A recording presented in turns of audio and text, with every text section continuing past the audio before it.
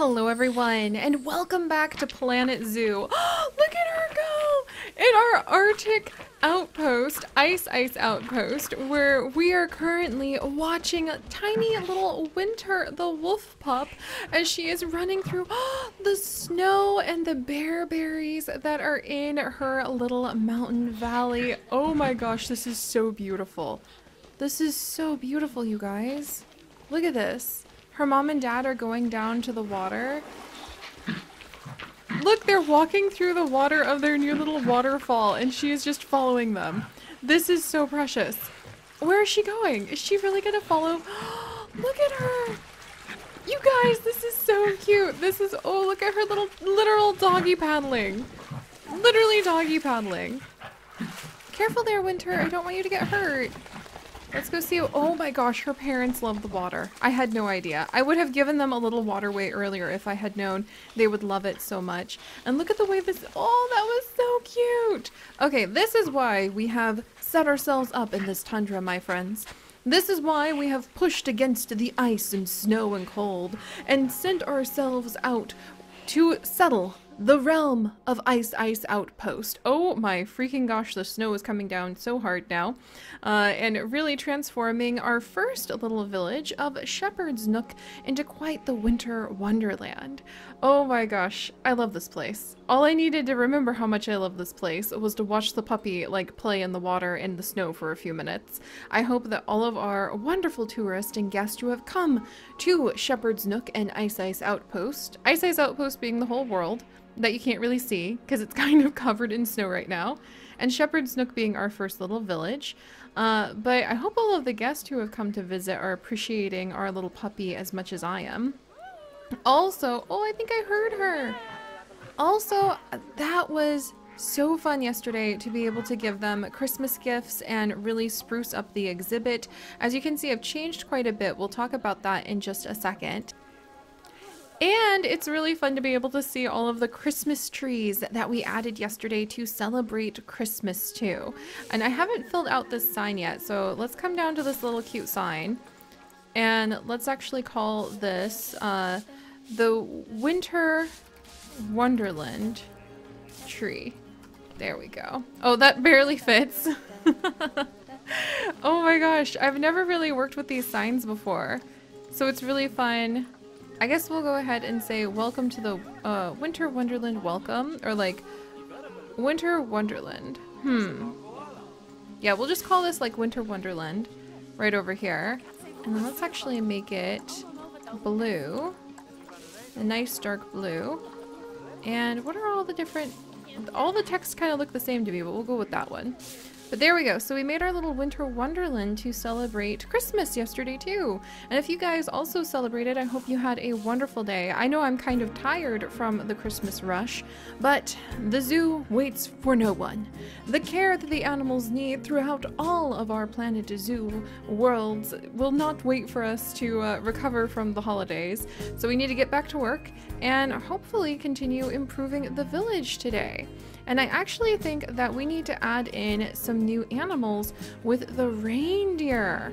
So this is supposed to be a reindeer's place for the lumberjack's sled, uh, where they're gonna have the reindeer put in. And right now they have instead had a whole bunch of goats added in, or goats, excuse me, the Dall sheep. Sorry, I'm still like recovering from the holidays. It has been so busy with the Christmas season, and I'm still kind of like seeing two Christmas trees dancing in front of my eyes nonstop. But we'll get into this. But yes, we moved the Dall sheep over here with Yarn and her little baby Christmas Joy.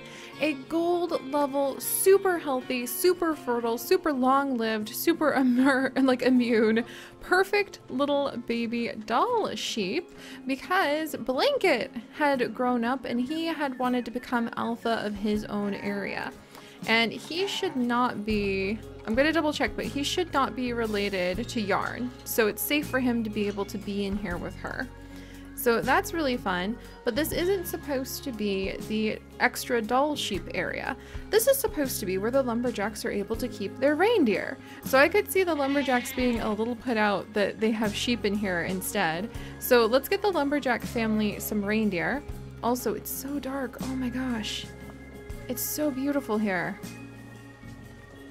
And let's actually maybe light up the village a little bit because it is really hard to see. Oh, look at these cool lights. I love those little glowing lights. Oh my gosh, and I love the way the trees are glowing. That's so fun. I love that. The little festive spruce has its own lights. Like, I have to decorate with these now. I'm obligated because they're just adorable. Alright, yeah, we might have to decorate with a few of those, like, along more of the trails. This is so cute. Maybe even the inside of the shepherd's area. Uh, oh, and maybe put down more of these signs. What I really want to add in, let's see, are some more of the torches that we have got if we're going to be doing some signs. Because we've got these really nice torches. What do you mean no power? Arctic wall light. Yeah, I don't think that light needs power. Interesting. But I would love to add in more of these torches and the lights kind of scattered through the village. I wonder, I think we could probably do that if we had just a plain wooden post. And speaking of wooden post, we wanted to come over, since this is the lumberjacks area, we wanted to come over and add in many of these logs to create a bit of a mishmash fencing. There we go. Is this log too small? Okay, we can actually go ahead and get rid of that log then. Oh, I love this beautiful snow. Oh, wow. Yeah, I love this village. It's just so lovely. And I love how we've built it up already. But let's carry on. Because I do think that the lumberjacks are a little put out that they don't have their reindeer yet. Especially with the snow being here and some sleds needing to be pulled. And I actually know exactly where we're going to be getting those sleds because Geekism, who does some really great videos and is so kind, I really like him quite a bit, uh, he recently just made a reindeer exhibit that he put up on the Steam Workshop that we're going to go snag because he did all the hard work of building a sled. and I nearly did backflips. I was like, huzzah! Someone else has built that darn sled. So we're gonna go see what's what his design looks like sometime very soon. But you can check it out on the Steam Workshop if you want to grab something sled themed for your Arctic zoos sooner than that. Alright, but let's set this up for our reindeer. In fact, we can probably put down the bigger fencing for the reindeer in just a bit. And I think we're going to have to enlarge this enclosure now if we are going to add in even more animals. Because I think basically everybody in Shepherd's Nook will have at least a couple sheep. That's just the way it works in these families. I mean, I could see that's how like many of their relationships work too. Where they'd, they'd maybe court one another. The people of Shepherd's Nook might practice romance by sheep giving one another their best sheep when they would like to suggest that perhaps they should unite in matrimony. I could totally see that happening. Alright, we'll come right up along here. There we go. There! And we'll open this up. Oh, we could even make like a little back garden. Yarn! Yarn, you're about to die of old age? Did Christmas Joy grow up? Oh, Yarn. No, Yarn. What about Christmas Joy? She's still a baby. She needs you. She needs her mother. Yarn, hang in there. Oh, 18 years old? Oh my gosh. Okay, I'm sad we lost Yarn, but she lived heckin' long time. And I guess this means that we need a couple Dall sheep females before I can even get my reindeer in here. Alright, so let me grab Dall sheep, Dall sheep. There we go. Let's look for female Dall sheep. And then, oh my gosh, Dall sheep are going for a ridiculous amount on the market because they're still really hard to get apparently. All right, well, let's buy a few of these ones. They're not the best for... Yeah, they're, they're a little old, but we need to get somebody to come in and share blankets enclosure and also be a, a like foster mom to our poor little orphaned Christmas joy. Also, I need to get the quilts over here. Oh, hey! You guys, I forgot about this little one. This is the first Dall sheep we had, where we, we couldn't find her again. This is actually her. See, she's zero years old, and she was lost to the snows, but we have found our little lost lamb. Oh, I'm so happy about that. All right, let's add her in. And then we'll give these three new names that you guys have actually suggested in just a bit here. I wish they could be healthier for a blanket, but that's okay. All right, and then let's go ahead and grab some reindeer while we're at it. And we'll get going with our first reindeer. Because I think that would be a good to add in too. Well, Dall sheep are pretty uncommon, so I might need to remember that. Maybe we could make the village very rich off of just getting a bunch of um a bunch of Dall sheep adopted out. Alright, so let's take a peek at the reindeer's Zoopedia before we add them in to help out our lumberjacks by pulling their sleds. They want to be in groups of 3 to 12, and it can be one male and up to 11 females. And there's going to be one dominant male per breeding group. Okay. They live about 17 years. They're mature enough to have babies of their own at 5 years and will continue to have offspring until they die. They have one offspring at a time. It takes about eight months for that baby to be mature enough to be born. And it, it takes about a year after they have a baby before the females will be ready for more. So they are a social species. They are herd species. In the wild, they live in breeding groups of related females, they're young, and one unrelated dominant male, or in bachelor herds of young males who have not yet acquired a harem of females. So we might be able to make a bachelor herd of up to 3 to 12, so that'll help. I'm kind of interested about having the reindeer, as I keep mentioning, in a huge herd over here as wild animals, quote unquote wild animals. So they would probably fight a lot, but maybe they would establish their own dominance over time. And then we could occasionally pull from the wild herds to add in herds to like the sled team families that we would have. Speaking of sled team families, I wonder if we should have like on the opposite side over here, like a family that has some timber wolves that we would call huskies. That would be really fun. Ice Ice Outpost is, or excuse me, Shepherd's Nook is beginning to grow in really fun directions, if you ask me, guys. All right, so, oh, look at the feeder. That's so cute. I love that. Oh my gosh. There, now Christmas Joy isn't alone. She needed a couple females to, like, join her. And I think we even have another lamb in here now. Did we add in the other baby lamb? We did! Oh, there she is! She was our little lost lamb. No, that's Christmas Joy. Okay, Christmas Joy is over here. So the little lost lamb is right over here. So this is actually the first lamb that we ever had who got lost. I'm gonna name her Mary after Mary had a little lamb. So this is actually the very first one we ever had and she's the one who went and got lost on us and like spooked us to pieces. So I'm really happy that she's back with us. And let's actually get in... I want some short grass in here. Because it looks so weird when it pops up through the snow. We'll just have a, a couple patches of long grass over there. Alright, so Mary had a little lamb is now in here, which makes me very happy. Let's grab a couple donation bins because we we want to we want people to continue, you know, tossing in their donations. Oh, this is so fun. I'm so happy the little lamb is back. We're going to need to add in a few more things for the reindeer, but we'll work on that. And then let's actually copy this Arctic education spot. And we're going to actually make one of these education boards about the reindeer and one of them about... Yeah, one about the reindeer and one about the sheep. But the reindeer are more supposed to talk about, you know, the lumberjacks. This is where they live. And we should put some of this lumber on its side in like a pile. That would be so cool. Alright, and I guess they won't have a really great view of these animals, huh? Maybe the lumberjacks could build a little bridge? that could kind of come up a little bit to like look over the reindeer. We'll have to play with that. We'll have to play with that. He's gonna have to just do his best. Sorry, buddy. Who's trying to like get some pictures and things. Alright, we'll put that there for now. Oh, there's just...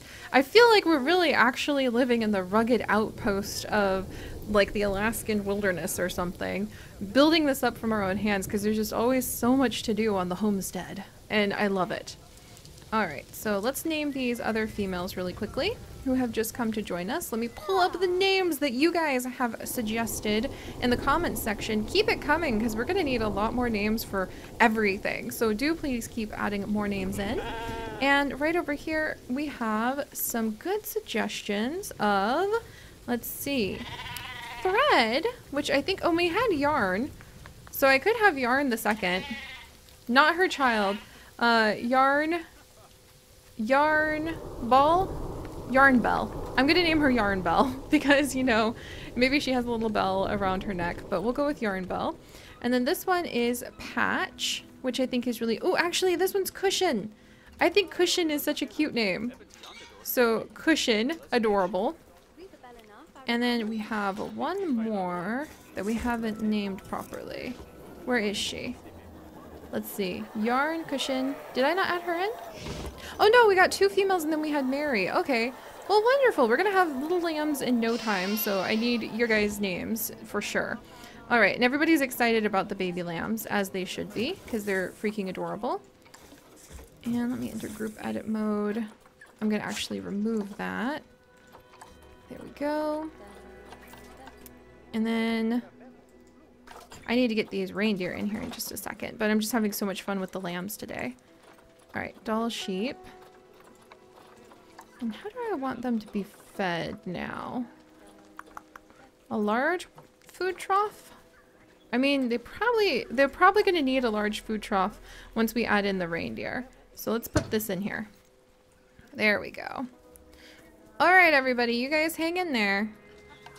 I'm also going to edit this barrier so that we'll have some glass over here instead so you guys can see the little lamb better because she is precious and adorable I agree and let's impress all of these guests with a new animal to see all right in we go reindeer all right let's see if we can find some healthy reindeer it looks like oh, that was a really good one go go go go go we got her okay so we have one female reindeer uh, who's really freaking healthy, so that makes me happy. Okay, this one wouldn't live very long, but she has very high fertility. That one wouldn't live very long at all. Alright, $200 for a reindeer? Like, that's practically the, the price of a couple rocks in Planet or Zoo, so that's really exciting.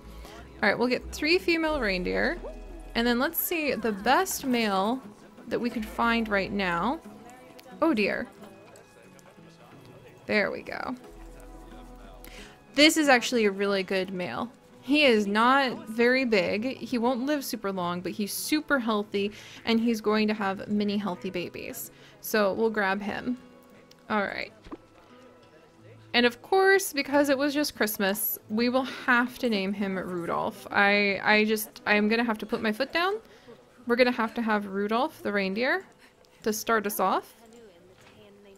And then let's grab the females and put them on in with our sheep.